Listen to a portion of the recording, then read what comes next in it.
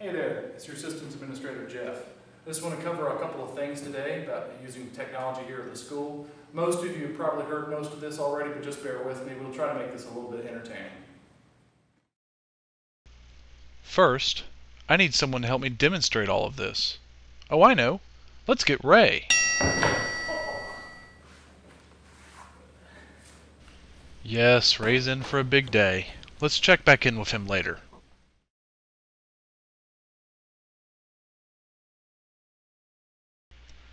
There are some important changes to student accounts this year that you should be aware of. Upperclassmen, please listen carefully, as this is different from how we have handled student accounts in the past. First, you must turn in a completed student technology policy to your enrichment teacher to receive a username and password. Completed means with your signature and the signature of a parent or guardian. Everyone should have turned these sheets in by now. If you have not, get your sheet to your enrichment teacher today. Each student also has a unique password for their computer account. Please copy it down carefully from your enrichment teacher. The first time you log into any school computer, you'll be asked to change your password to something of your own choice. Passwords must be a minimum of six characters. You will need this password and your student account to log into any computer, so please choose something that you can remember easily. Starting later this year, you will only be able to log into one computer at a time with your account. You need to remember to log yourself out of desktops and shut down laptops so your account will be available to use on another computer when you need it. Make sure you do not share your username or password.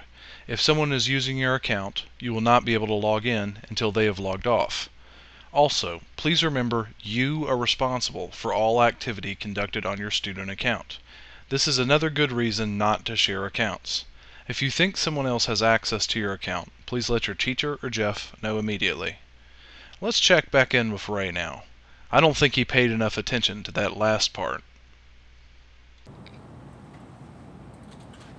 Hey, uh, Ray, I uh, forgot my password. Could you help me out? No problem. Thank you. Appreciate it, man. Oh, yeah.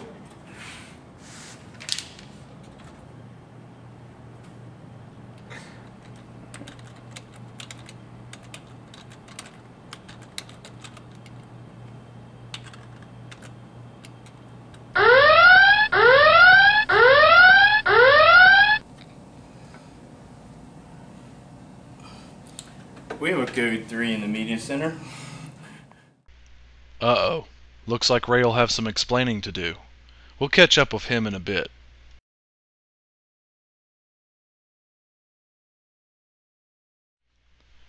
Here at Brazier, every student has a student folder on the server. This is where you will store all your work that you create on the computers. Your teachers all have access to everyone's student folders so they can check your work digitally if needed. So please, don't store anything in your student folder that isn't school appropriate and that you wouldn't be comfortable with your teacher seeing.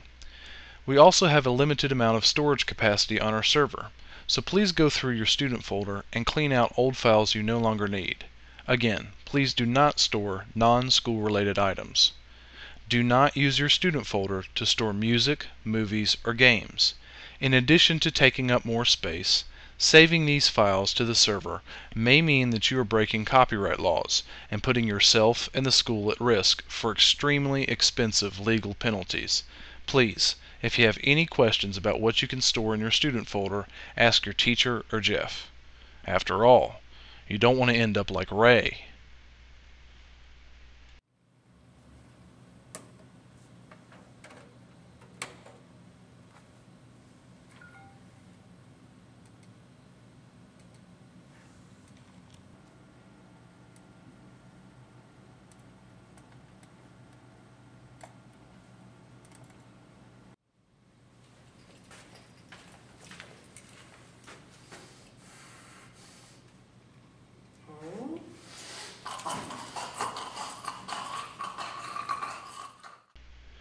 Ray mentioned something about having a sore throat, so we'll catch up with him later.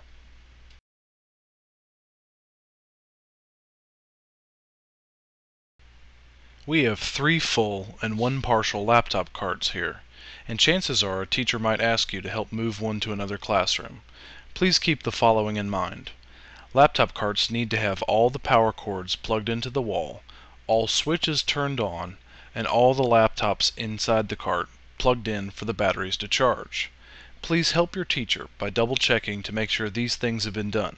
Otherwise, the batteries will most likely not be charged for the next class. Please ask for help if you can't move a laptop cart by yourself or you need assistance in getting a cart on or off the elevator. Laptop carts can be very heavy. Please use caution when moving them through the halls and pay attention to avoid injuries or damages to the cart or the school walls. Unfortunately, Ray was too busy trying to talk with his friends to be careful.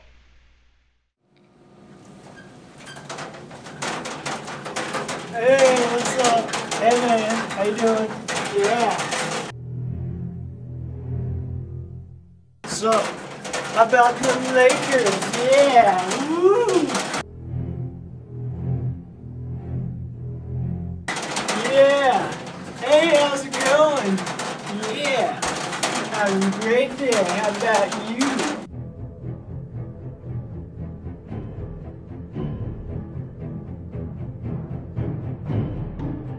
Oh yeah, huh? Yeah. What's up, man? Haven't seen you in a while, huh?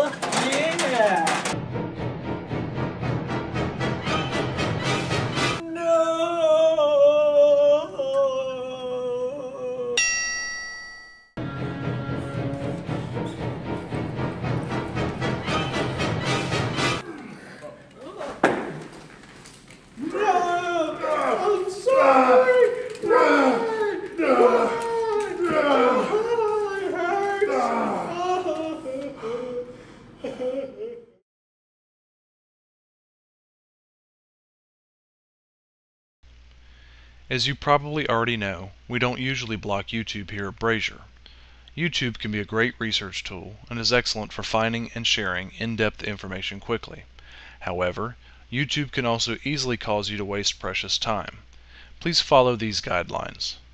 YouTube is blocked for students before the first period and after the fourth period of each day. This is to prevent students from tying up computers in the media center and elsewhere just to watch YouTube or other streaming media. If you need access before or after school, please ask Jeff. Your teachers set the policy for how YouTube can be used in their classes. You are expected to follow their rules.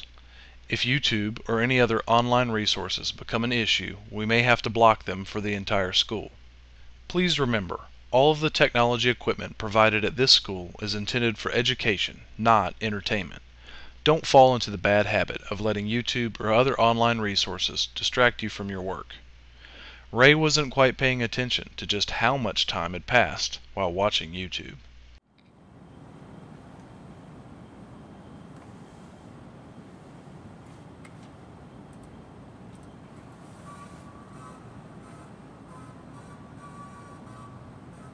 Ha ha ha.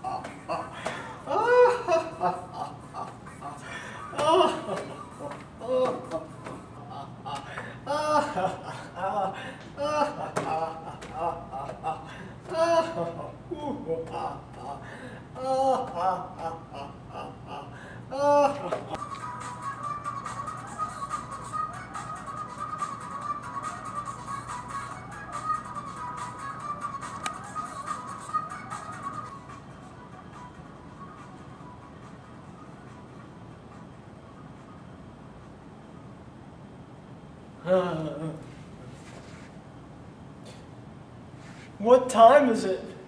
Where is everybody? No.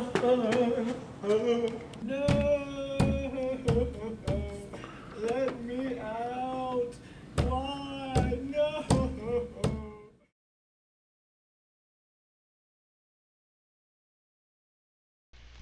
Finally, please remember we use a web filter here as we are required to do so by state and federal laws. The web filter is our best defense against unwanted programs, viruses, spyware, and other online threats. Please let your teacher or Jeff know immediately if you get any unusual messages from the web filter. Occasionally, the web filter can block a web page that you need to do your schoolwork. If this happens, please either find Jeff or let your teacher know so the page can be unblocked for you. The web filter logs and records all online activity for each student.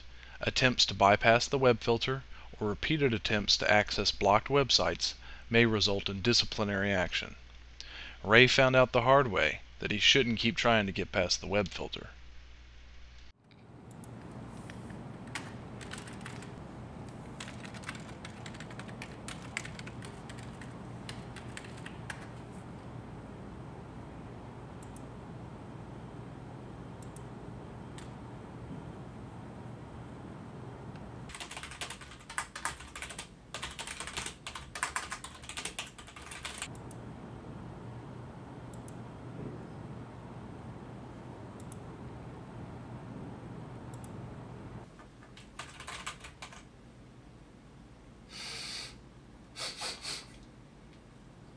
something's wrong.